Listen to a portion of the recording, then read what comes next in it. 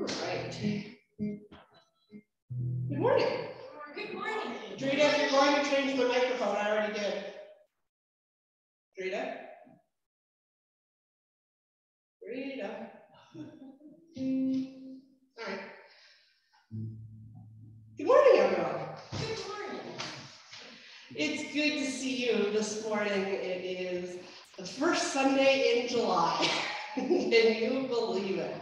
Time is flying quickly, uh, but however it is that you came to worship today, whether that is here in person or on our screen, or you're watching it later on in the week on YouTube, however that is, I'm glad that you're here.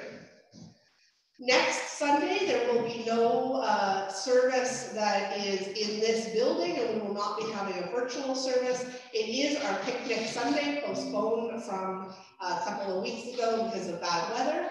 And so we will be at McMaster Manor, which is a few miles uh, west, and it's not actually that way, I'm just pointing that way apparently, uh, west of Lafleche.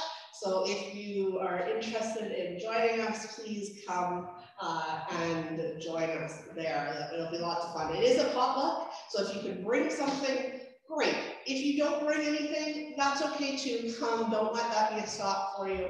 Uh, there is always lots of food at church picnics. So uh, please try to bring something, but if you can't, that's totally understandable.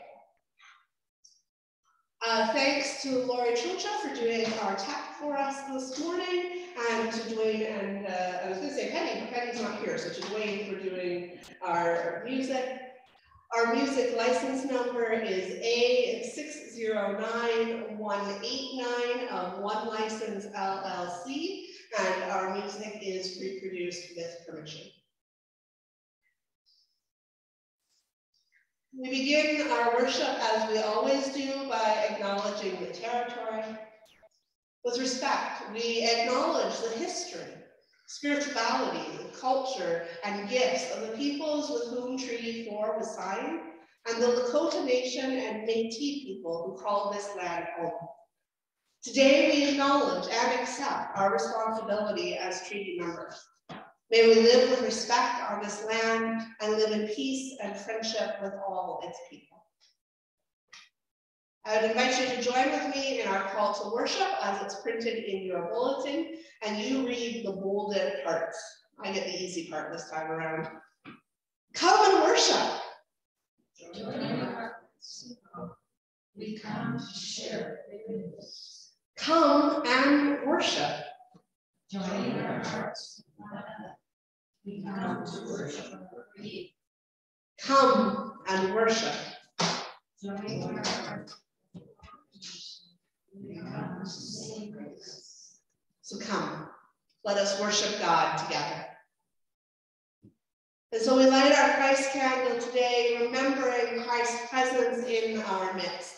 Not just in this moment, in this hour when we come to worship, but in every moment of our lives, our flame dances as the Spirit dances and moves in our souls.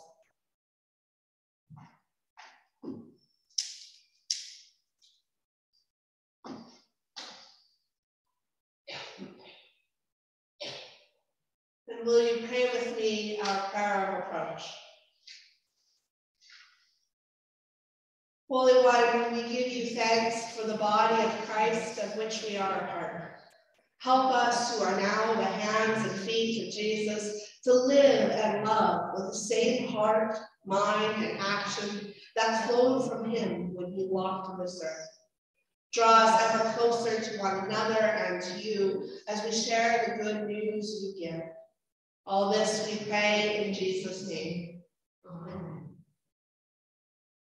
Our first hymn this morning is number 602 in Voices United. That's the Burgundy book. Blessed be the tie that binds.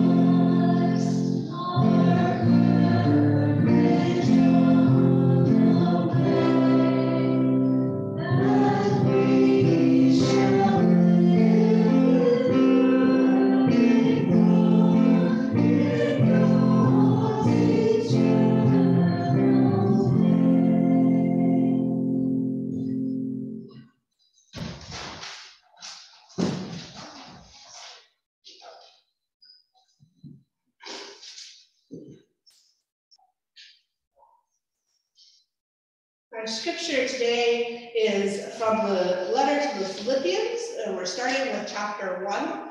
Um, before I left, we were in Acts and we were going through some of the stories of Paul. One of the ones we heard was when he was in Philippi, uh, in jail, because that's where Paul is a lot of the time. Um, and him and Silas were in jail, and of course, the, the earthquake and their chains were broken open, and they could have gone for a jailbreak, but they didn't, and the jailer was converted. Paul's MO was kind of to start a church and then write leave and write letters to that church. So this is a letter to the church at Philippi. Paul and Timothy, servants of Christ Jesus, to all the saints in Christ Jesus who are in Philippi with the bishops and the deacons. Grace to you and peace from God our Father and the Lord Jesus Christ. I thank my God every time I remember you, constantly praying with joy in every one of my prayers for all of you, because of your sharing in the gospel from the first day until now. I am confident of this, that the one who began a good work among you will bring it to completion by the day of Jesus Christ. It is right for me to think this way about all of you, because you hold me in your heart, for all of you sharing God's grace with me both in my imprisonment and in the defense and confirmation of the gospel. For God is my witness, how I long for all of you with the compassion of Christ Jesus. And this is my prayer, that your love may overflow more and more with knowledge and full insight to help you determine what is best, so that on the day of Christ you may be pure and blameless, having produced the harvest of righteousness that comes through Jesus Christ for the glory and praise of God. To know, beloved, that what has happened to me has actually helped spread the gospel, so that it has become known throughout the whole imperial guard and to everyone else that my imprisonment is for Christ. And most of the brothers and sisters have been made confident in the Lord by my imprisonment, dare to speak the word with greater boldness and without fear. Some proclaim Christ from envy and rivalry, but others from goodwill. These proclaim Christ out of love, knowing that I have been put here for the defense of the gospel. The others proclaim Christ out of selfish, selfish ambition, not sincerity, but intending to increase my suffering in my imprisonment. What does it matter? Just this, that Christ is proclaimed in every way, whether out of false motives or true, and in that I will I rejoice. Yes, and I will continue to rejoice. The word of God for the people of God. Thanks be to God.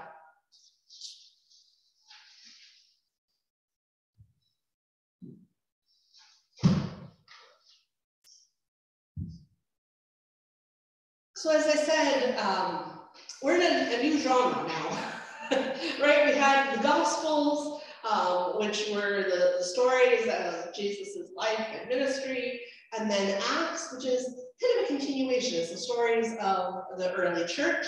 It's a continuation uh, primarily of the Gospel of Luke. Um, now we're in the letters. Now we're into reading the personal correspondence um, between Paul and the churches that he wrote, that he wrote to, that he founded. So I, I imagine, um, you know, 2,000 years from now, somebody finding the letters that I wrote to all of you during COVID and saying, now this is this is gospel. This is what we have to do, right? this this is the way it is. And so I think sometimes we we look at Paul's letters and we take them out of context, forgetting that they were to a particular time at a particular place and a particular people, um, both individuals and as a community. So I don't think we have to, you know, look at the, at the epistles, look at the letters of Paul and say, well, everything that Paul says has to be absolutely true. But neither can we just divorce them from the Bible, from the Bible and, and put them aside and say, well, if they're just letters, they're not worth anything. Paul's got some good stuff to say. Now, you've heard me say this before that I have issues with Paul some days. Uh, Paul and I have a love-hate relationship. Some days I love what he says, and other days I want to toss him across a room. That's, I think, not a bad thing. But in this gospel, in this epistle, in, in this letter, Paul is um, perhaps the most lovey that he usually that he usually is, right?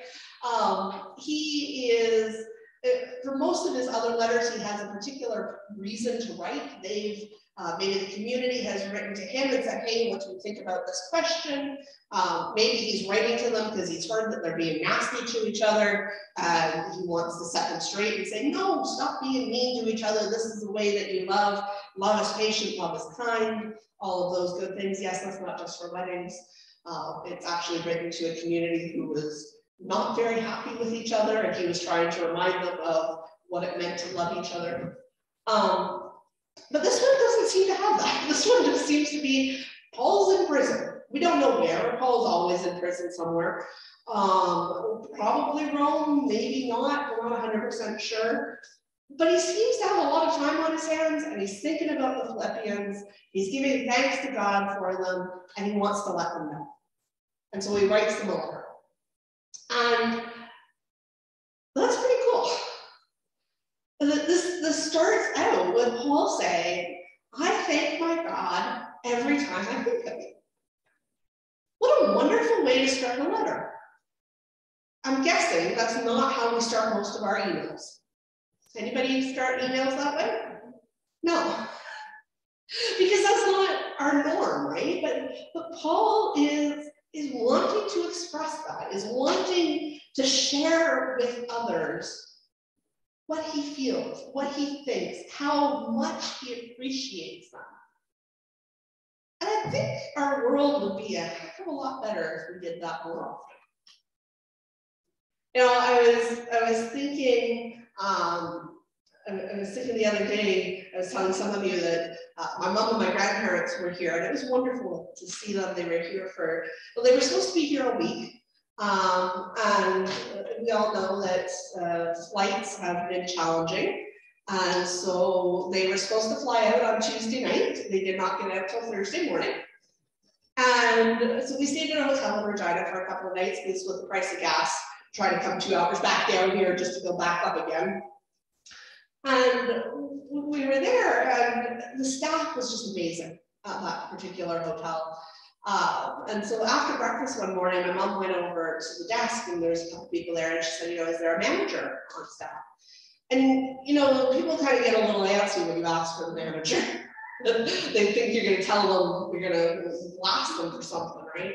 And so the, the lady said, yeah, she says, I'm the assistant manager, you know, what can I help you with, ma'am? And my mom says, I just want to let you know how much I appreciate your staff. They have made what could be a challenging time for us into a really good one.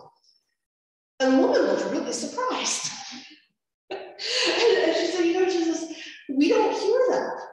We get told all the things we get we get told when something isn't right we get told when people are just mad because their flight got canceled and they're taking it on us we get told all the bad stuff but we don't hear the good right when i used to uh, go to a program called star students together against racism um, I was one of, I, I, was in it as a kid, and then I ended up being a leader in, the, in my later years of high school. And we used to have an activity where you had your home group and you went around the circle. And as you went around the circle, you said something about every single person, something that you appreciated about them. And at first it was awkward and all get out. at first you're sitting there going, and, you know, some you start maybe four or five away from you, and you're going around the circle, and you're thinking, I don't have to say anything. I don't, what if somebody says the same thing I want to say? Or will it sound weird if I say that? You know, because of course we're, you know, older elementary and early teenagers, and so you don't want to sound awkward or weird or whatever. And then somewhere about halfway around the circle, you go, oh crap, they're going to do this for me too. And it's really weird. And it's really awkward to sit there and have, you know, 15 other kids tell you what they like about you, what they appreciate about you. But somewhere along the way, it actually, you start to realize this is how we should be living. This shouldn't be something that's odd. This shouldn't be something that's different. I saw something this week that said anything that can be said at a funeral should be said before a funeral. Anything that you want to say to the person who's about to die, or you know, even if they're not about to, you know, whatever we want, whatever we would say about them, you know, all the good stuff that we appreciate about them when they're lying here in a casket, we should be saying to their face. We should be telling them on a daily basis. And I think that's what Paul is trying to model for us here. I don't know that he necessarily realizes that he's going to be put down in, you know, for all history as his letter is going to be become biblical. But I think he's trying to, to model this idea of gratitude, this idea of community, of, of sharing. So I wonder how we do that as part of the church. Sometimes we do it really well, and sometimes we really don't do it well. Sometimes we, we start as a church community to take people for granted, right? To, to just say, oh, well, Joe Blow always does this. He's done it for however many years, everything, he, he's always going to do it right? Or, or Jane Doe has, has done this forever and always. I've never known anybody else do it. I, I said thank you once 10 years ago. Why do I need to say it again? So that's not actually a good way to live, I don't think. It takes some intentionality. It takes us actually stopping and slowing down and thinking about who we're grateful for and how we're grateful for them and why we're grateful for them. And then it takes a little bit of getting over the awkwardness in our heads about, well, will they think it's weird if I go up and say that? But that's how we build community. That's how we build a strong community that knows that every single one is valued. That's how we build the body of Christ right? Paul doesn't mention it in this scripture, but throughout all of his other uh, scriptures, he's, he's always talking about this body of Christ, right? That, that the hand cannot say to the foot, I don't need you. The eye can't say to the ear, yeah, you, you know what, you can just get off the head, I don't need you here. We are all valued members of the body of Christ, but it's easy for us to forget that when we don't share our, our appreciation. Now, being part of the body of Christ doesn't mean just come and be part of the church. Doesn't just mean that you come and show up on Sunday morning, or that it doesn't even mean that you come and you do a whole bunch of work for the church. It means to, to have that same, same mind, that same compassion, that same love, that same care for others that was found in Jesus Christ. And so Paul says that, you know, I am longing for you with the compassion of Christ. This is the model that we follow. This is who we try to be. This is what we try to do to have that compassion, that love, that care of Christ in our lives so that we can share it with others. And in so doing, we become the body of Christ. We become so bound together, so tied together. We don't know where one stop starts and the other stops, but we each have our place in this time, in this space, and in this community. So today we gather to worship. We gather to share communion. And in that, we are reminded of our connection to one another to all the generations of people who have come before us, to all the generations of people who will come after us. Let us allow this time to fill and strengthen us for the part that we play in the body. Let us help, let it allow us and help us to grow in love, in gratitude, and in compassion for all the body's other members. All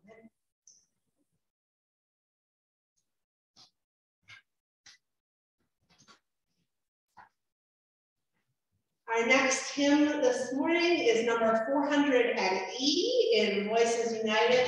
Let us break bread together.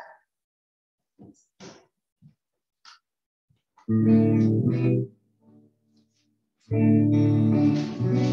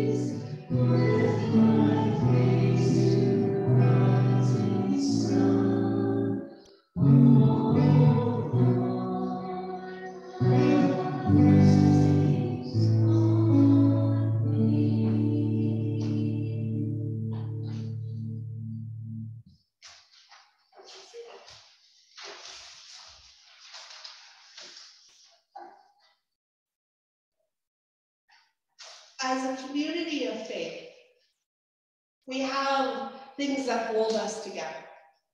We have the things that we believe, and, and we can all believe slightly different variations. We don't say you have to be in lockstep on every single issue, but we have common words to express what it is that we believe about God and about the church and what it is to be alive.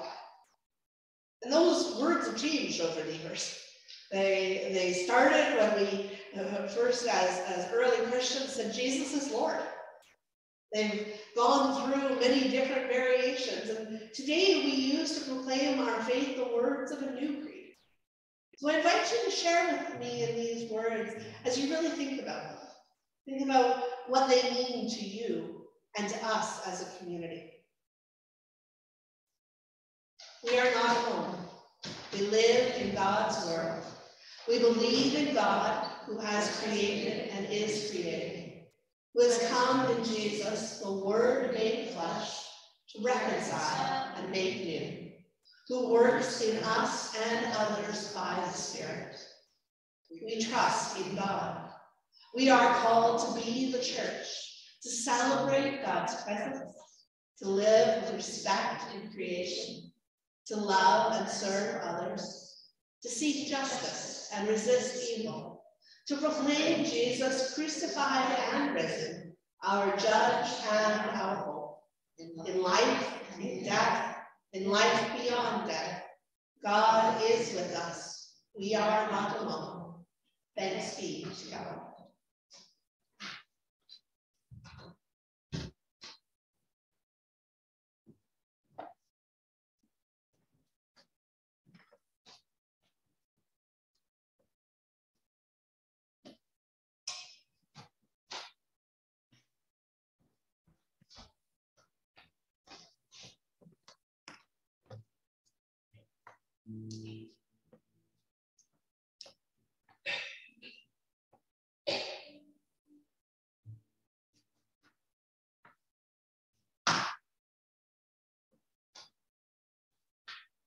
So today we share in the sacrament of communion. For the first time in many months, we have a full table. We don't have everybody bringing their own piece of the loaf. And you know, at first, when we first had to all bring our own elements, I thought, what a horrible way to celebrate communion. And then I realized it's actually a beautiful way to celebrate communion because it, it reminds us that we are all part of the body, that we all eat from the same loaf, even though it is in many different forms. But I will admit that I've been looking forward to being able to share it in our traditional way again. And so if you're on our screen, I invite you to get your own elements now. If you are here in the church, um, we will be serving here, but if you prefer to have your own uh, and have brought them with you, that is perfectly all right as well. I invite you to turn in your bulletin to the sacrament of communion.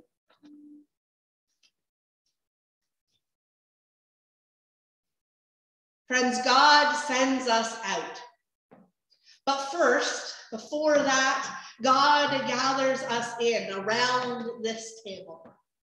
One last meal, as it were, to fuel up for the road ahead. All are welcome at this table to enjoy God's hospitality, to eat and to be filled by what God has put in front of us, the gifts of God for the people of God. And so the Lord be with you. Lift up your hearts. Let us give thanks to the Lord our God. Great God of all, you sent out your power into the void, creating sky, earth, and sea, plants, animals, and people commissioning each living thing to praise your name. Yet we fell away from our purpose, following our own path, and sin got its first foothold in the world. When your people were in Egypt, abused, oppressed, exploited, because Pharaoh was afraid of their numbers, you gathered them up and sent them out of Egypt, commissioned them to be your people in a new land, the symbol of your love and justice for all the world to see. Yet these people fell apart, worshiping idols, exploiting the poor, expelling strangers. So you commissioned prophets, women and men to call them back to your way. And then one day you came to us a tiny human baby bearing the weight of the greatest commission of all humanity's redemption, salvation of the world.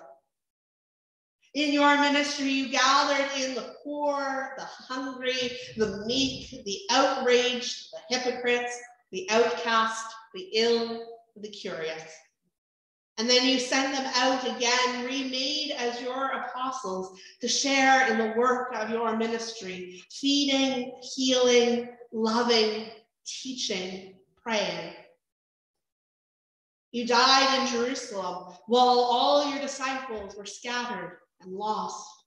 Three days later, you rose again and called your disciples back to order, reminding them that they still had work to do reminding them you were always with them, filling them with spirit so that they would never be alone. We praise the Spirit who forms us into your people.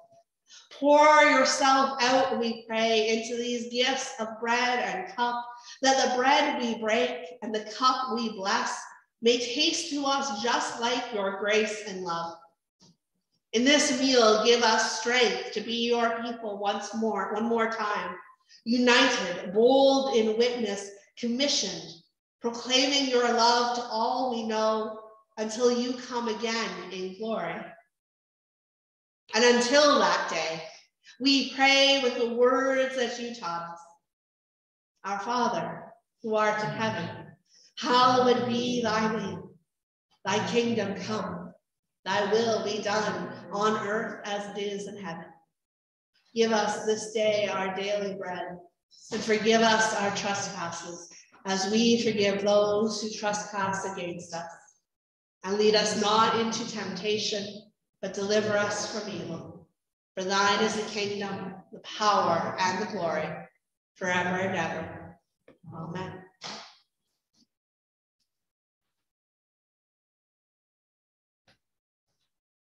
On the night before he died, when he knew that he would not be with his disciples much longer, Jesus took them and gave them a sign by which to remember him. He took the bread from the table, and after giving thanks to the Lord for it, he broke it and gave it to his disciples, saying, This is my body. Take and eat, for it is given for you. Each time you do this, remember me. And then, in the same way, he took the cup, saying, This cup is the new covenant sealed in my blood, shed for you for the forgiveness of sins. Whenever you drink of it, do this in remembrance of me.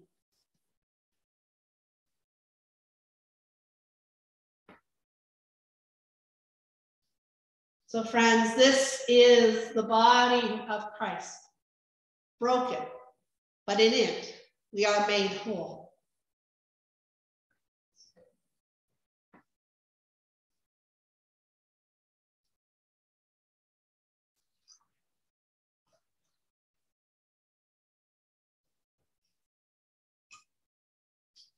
This is the cup of blessing, the fruit of the vine in which we are all connected. These are the gifts of God for the people of God. So let us eat and drink and be filled. All things are now ready. We're going to serve uh, communion in what is called the traditional way, which means that it will be served to you in your pews. I'll invite you to hold on to your bread until all have been served and we can eat together, and then the same for the juice.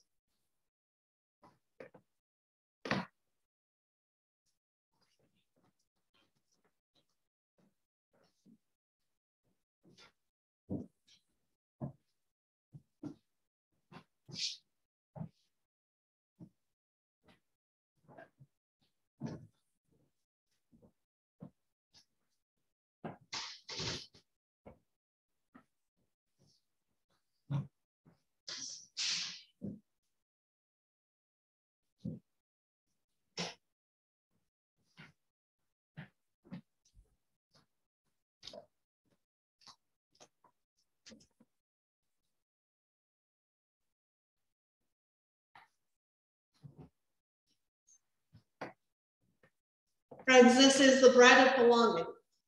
Eat and be filled.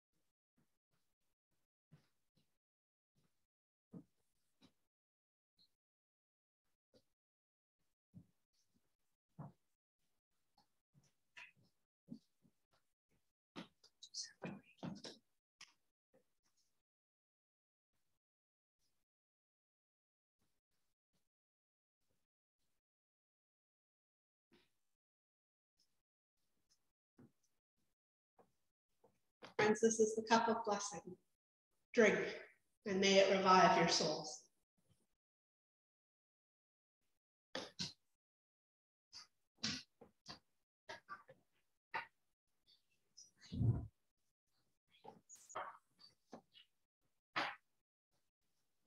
Will you join with me in the prayer after communion?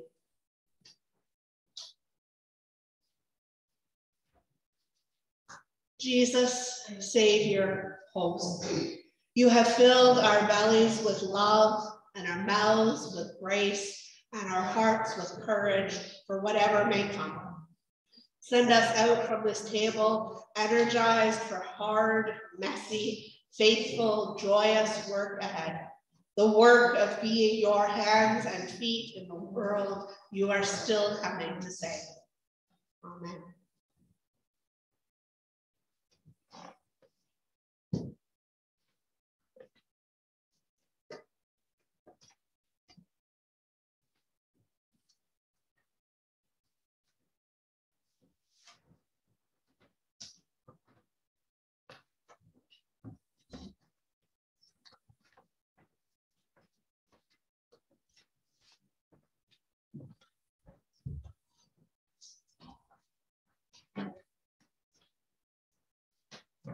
Having been given the gifts of this table, we respond in kind, sharing all that we have and all that we are with God. Sometimes that means a monetary offering, sometimes that means our time and our talents. Sometimes, excuse me, sometimes it means our love and our compassion, the effort that we share for the work of God in this world. Whatever it is that you bring to this table today and offer to your God, I invite you to think about it now as we sing our offertory hymn, both verses of number 537, Your Work O God Needs Many Hands. God,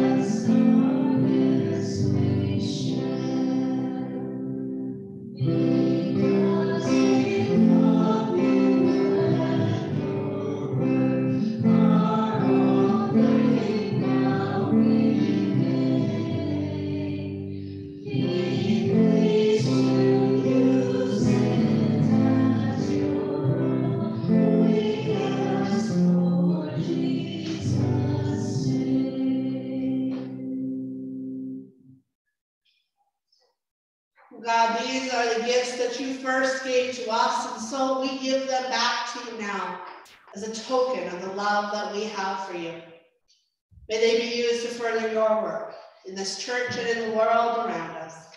Through Jesus Christ our Lord, we pray. Amen.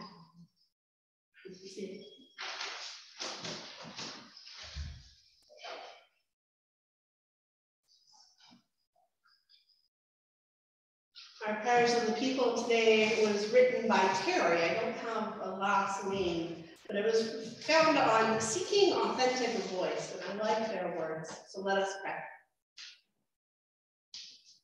Loving God, we seek to follow your desire and walk in your ways, to observe your commandment.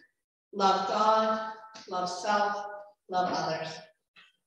Bless, O God, this land and all the lands of the earth.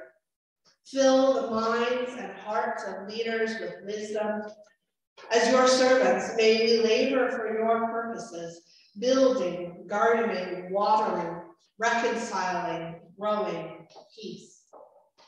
May we work together as siblings all, as God's field, God's gift to you and to me.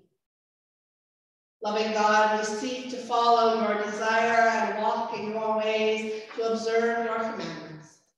Love God, love self, love others. Amen. Our final hymn is number 331 in Voices United, The Church's One Foundation. Friends, go